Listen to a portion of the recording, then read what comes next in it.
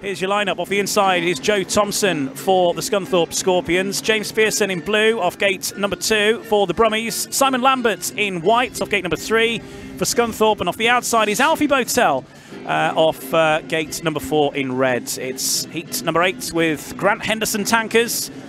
Close run thing. Alfie Bowtell had a bit of a starring role in that 5-1 earlier on for the Brummies. Riders under starters orders now as we get back underway here at Perry Barr. As the tapes rise down to the first turn, it's a good start from the rider in red, Alfie Bowtell, once again coming round the outside of Joe Thompson to get himself in the lead. Coming up the inside is James Pearson as well.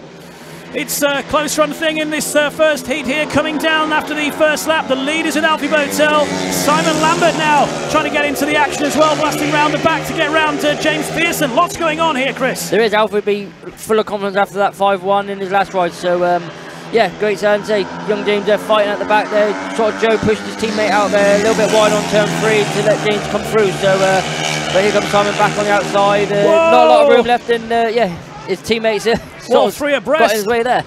Yeah, James Pearson holding on to second. Simon Lambert and Joe Thompson sort of getting in the way of each other there.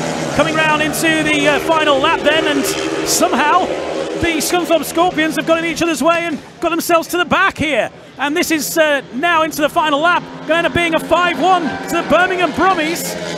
What a turnaround that ended up being. It is. Simon will not be happy there with his teammate. Um, when you're out there chasing, it is hard to look for him. But uh, yeah, Simon will not be best pleased with that. But yeah, Birmingham boys there will be over the moon to get uh, a 5-1 there and take the lead in the meeting.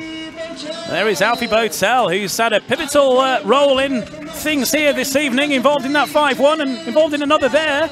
James Pearson holding his ground through that heat as well and uh, getting uh, into a 5-1 position. And so things change round.